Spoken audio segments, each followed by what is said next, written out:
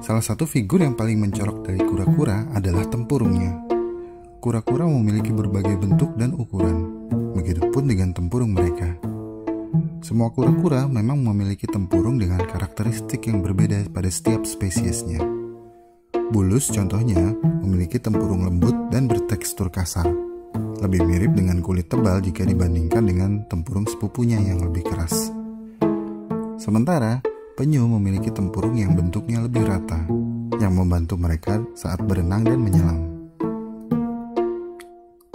Tempurung juga digunakan sebagai alat pertahanan kura-kura di mana mereka bisa menarik kepala dan kakinya ke dalam tempurung. Sayangnya, kura-kura tidak bisa melepaskan tempurungnya. Tidak seperti rumah yang bisa kita tinggalkan kapan saja. Tempurung ini sebenarnya adalah anggota tubuh dari. Tulang rusuk dan tulang belakang kura-kura adalah struktur utama dari tempurung.